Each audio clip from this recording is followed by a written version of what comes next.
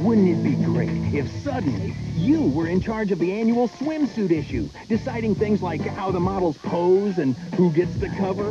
And wouldn't it be great if the models brought beer? Really great beer, like Keystone, the fresh, cold filtered beer in a can that tastes like beer in a bottle because of Keystone's specially lined can. And wouldn't it be great if later that day you all went bowling?